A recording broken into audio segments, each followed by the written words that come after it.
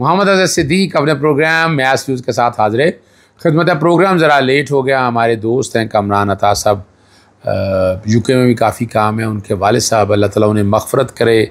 आज चौदह अगस्त, वाले दिन जनाजे में जरा वक्त ज़्यादा लग गया, वहाँ पर बहुत दोस्त अब आप मुलाकात हुए। खलील कमर साहब से मुलाकात हुई, मियाँ फरजान साहब जो लकी रानी सर्कस के हवाले से हैं।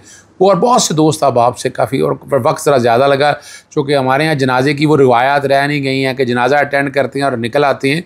दफनाने से लेकर घर हाज़िरी एक दफ़ा दे के और फातिहा पढ़ के आपको बेसिकली आना होता है। ये एक प्रिंसिपल जो हम हम समझते हैं, लेकिन आपको आज़ादी की खुशियाँ बहुत बहुत मुबारक हो।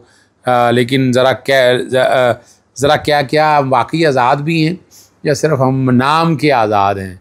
अभी तो फ़िलहाल नाम के ही आज़ाद हैं। आज़ाद अगर होते तो हमारी सियासी जमातें वो किरदार अदा करती जो उन्हें करना चाहिए था। सिर्फ़ इमरान खान को छोड़ दिया है और अपने एजेंडों पे चल रही हैं और अपने एजेंडों पे नुकसान इस ममलकत पाकिस्तान का हो रहा है। जो ताकतवर है, ताकतवर ने नहीं पीछे आने का, ना उसने कोई कोशिश करनी है। ये सियासी जमातों को आगे बढ़ना है और मुझे याद है कि सियासी स्पेस में से एक बीचला रास्ता हमेशा होता था कि नवाबजा नसरुल्ला जैसे लोग होते थे जो इन मामला को देखते थे। मोहम्मद अली दुरानी ने कोशिश तो की, लेकिन मोहम्मद अली दुरानी की वो कैपेसिटी नहीं है जो नावजा नसरुल्ला की थी सियासी जमातों को अंगेज करने की। सियासी जमातें इस वक्त इकतदार की लालच में हैं कि इकतदार उनके पास रहे। उन्हें इससे कोई लेना नहीं, पाकिस्तानी कौम के साथ क्या हो रहा है, क्या ज़्यादा हो रही है, उन्हें इन चीज़ों से कोई नहीं लेना जी। और एक बात करके फिर मैं आपके सामने फैसल वाडा और फैसल, फैज़ हमीद वाले मामले में आऊँगा आपके साथ। और ये जो कुछ पॉइंट मेरे साथ शेयर किए हैं कि जो इंटरनेट और फ्री लॉन्सर काम जो ठप्पा हो गया आइनलैंड सर्विस मुतासर हो गया, और वाइस ऑफ़ अमेरिका के मुताबिक जो है इंटरनेट सर्विस प्रोवाइडर का कहना है मुल्क में इंटरनेशनल ट्रैफ़िक तीस से चालीस फ़ीसद डाउन चल रहा है। और फ्री लांसर के लिए काम करने कंपनी फाइबर ने पाकिस्तान में इंटरनेट स्पीड ना होने की वजह से फ्री लांसर की अदम दिलचस्पी का भी कह दिया है। और हाल ही दिनों में जो कुछ हुआ है, तीस अरब की लागत से फायरवॉल नस्ब की जा रही है। ठीक है ना जी? और फ़ूड डिलीवरी बॉयज़ के मुताबिक आर्डर्स मिलने में तखीर हो रही है। और जो है ना, अब ये सारी जो जो जो है ना मैप्स भी सही तरह काम नहीं कर वो आप व्हाट्सएप भी देखें, जब तक वी नहीं लगाते, सार्फिन खाना वसूल करने से इनकारी हैं डिजिटल राइट्स पर काम करने वाली तंजीम अब बहुत सी लोगों ने ये कहा है कि जितना काम हो रहा है, इससे नुकसान कितना होगा? अगर हमने इस सिस्टम को ठीक नहीं किया तो बहुत से मामला आएँगे। अब अगली बात जो है, वो नौ मई के वाक़ के हवाले से जो है ना, वो आर्टिफिशियल इंटेलिजेंस से यानी अब आप नौ मई से लेकर नौ मई से आज हम चौदह अगस्त तक पहुँच चुके हैं। आप पैंतालीस सौ के लोगों को कह रहे हैं आर्टिफिशियल इंटेलिजेंस से, यानी एआई की मदद से गिरफ़्तार करना चाहते हैं।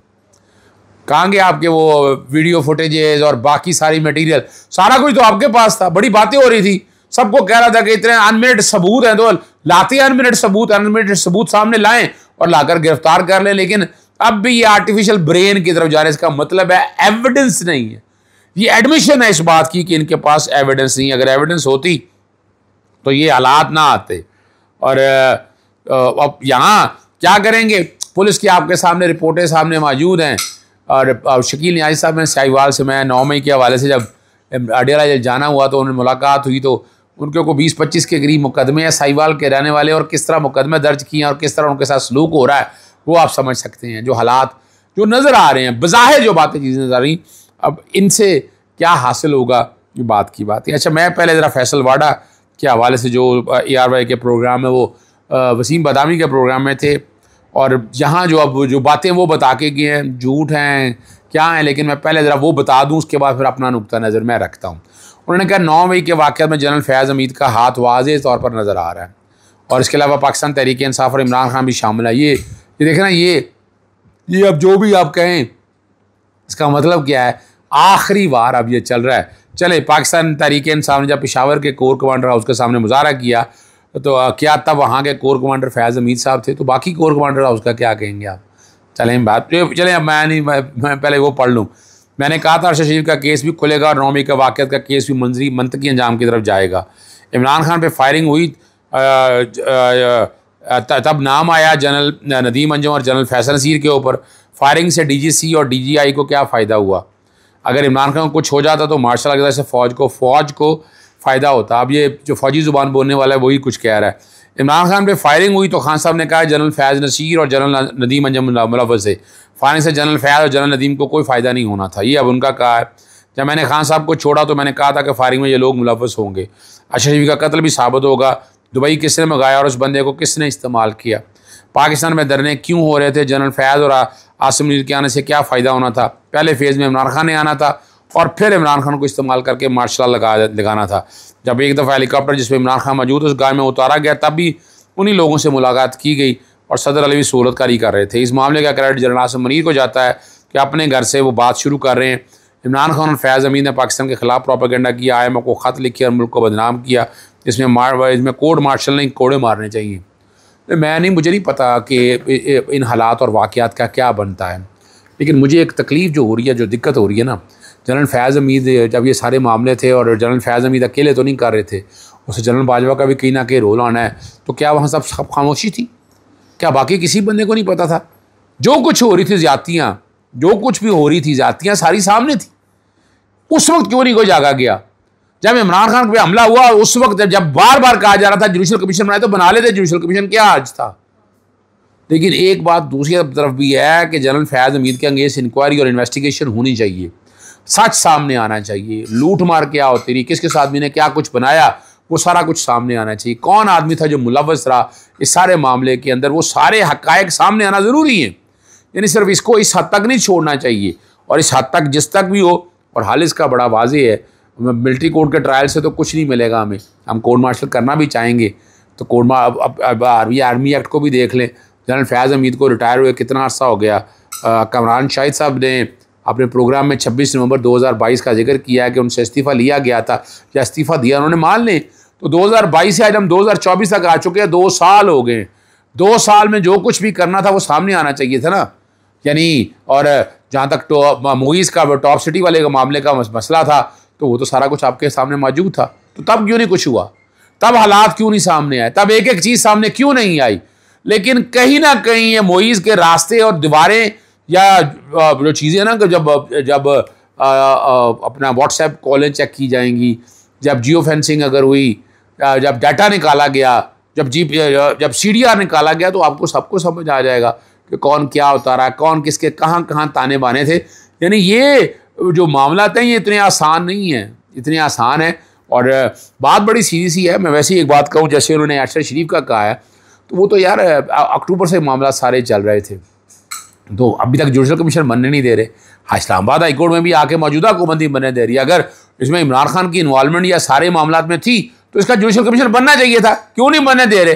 बार बार अब यानी मैं दरखास्तें दी हैं, मैं तो दो हज़ार बाईस से लिख रहा हूँ इस हवाले से। आप बताएँ कि कहीं आपने ये देखा हो, कहीं आपने ये महसूस किया हो कोई चीज़ ऐसी वादे तौर पर सामने आई हो, कोई चीज़ ऐसे सामने नहीं आ सकी। अगर आना होता तो जुडिशल कमीशन बना लेते, बनाकर हर चीज़ सामने ला सकते थे। आराम से काम हो रहा था एक एक चीज़ कौम के सामने। तो कौन बचा रहा था या कौन करना चाह रहा है? इस वक्त ये सारे सवाल, बातें जो ना हवा के अंदर है। और ये तो एक हकीकत है कि लोग जो जनरल फैज़ अमीर के फ़ायदा लेने वाले लोग थे, वो बहुत लोग थे। ये तो मुझे भी अंदाज़ा है इस बात का।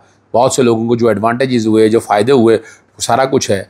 ज़रा उन्हीं को पकड़ लें आपको तो आपको अंदाज़ा हो जाएगा कि कौन कौन क्या लोग हैं, वो क्या चाहती हैं, क्या करना चाहती हैं। तो एक एक चीज़ सारी खुल के सामने आएगी आप।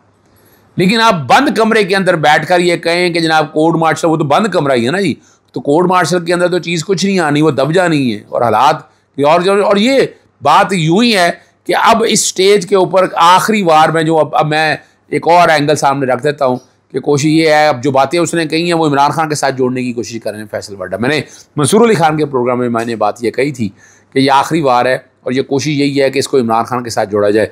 इमरान खान के साथ क्या जोड़ेंगे? एविडेंस आपके पास है नहीं। ना हालात ऐसी हैं, ना वाक़ात ऐसी हैं, ना ग्राउंड पे ऐसी चीज़ें हैं जो इस चीज़ को सजेस्ट करें, जो एक दूसरे से कनेक्ट करें। और यानी ये जो आप, सबसे आखिर में जो बात रखी है तो ये बात सबसे पहले आ सकती थी। यानी साइफर का जो केस आपने झूठा फ्रॉड पर मबनी फ्रेब पर मबनी फिर इधर यानी, अब अब तो जनरल फैज़ नहीं थे ना? ये जो साइफर का केस दर्ज हुआ है, जो चला है, ये किसने दर्ज किया है? पीडीएम की हुकूमत के अंदर कौन लोग थे, जो ये सारा चला रहे थे? इद्दत का केस कौन चला रहा था? इद्दत के केस को यहाँ तक और वकीलों की आपके सामने मौजूद है टेरियन वाइट का केस कौन चला रहा था? वहाँ जब ये सारी चीज़ें आप मिलाकर देखें ना, यानी गैर ज़रूरी एनर्जीज आप ज़ाया की मिला क्या आप लोगों को? अगर वाकई कोई एविडेंस थी तो एविडेंस एविडेंस आप ला सकते थे। आपने इंतज़ार इतना इंतज़ार क्यों किया? ये कौम जानना चाहती है ना? कौम को पता चलना चाहिए कि ये सारे क्या हैं और ये सारा कुछ क्या हो रहा है। ये वो बातें हैं जिनकी ताकीक होना बहुत ज़रूरी है। प्रोग्राम के प्रोग्राम के आखिर में सिर्फ़ वो मरियम सफदर हज़रत इलामा इकबाल के मज़ार पर गई, वो ट्रिब्यूट पेश करने के लिए और जो किताब पे तासुरात लिखना चाह रही थी, अब मीडिया ने वो सारा कुछ दिखा दिया, बैकग्राउंड पे वो सारा चल रहा होगा। वो कुछ लिख रही थी, आगे कुछ समझ नहीं आ रही थी, लेकिन दूसरी तरफ़ अगर उन्होंने वेबसाइट पे डाला तो उन्होंने क्या लिखा? वो आप ज़रा खुद देख लीजिएगा। जाल शादी या इस हवाले से नहीं, आप फैसला खुद आपने करना है। इजाज़त चाहता हूँ अल्लाह हाफिज़, पाकिस्तान, जिंदाबाद।